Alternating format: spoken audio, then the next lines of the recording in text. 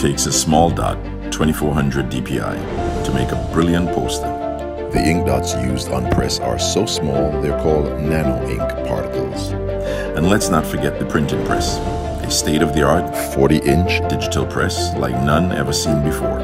A press that prints seven colors, not four, and can achieve an unprecedented 96% of the Pantone spectrum.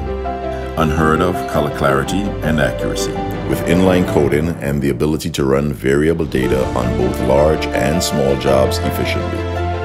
The future of printing, running now at Duggal, West Hampton Beach.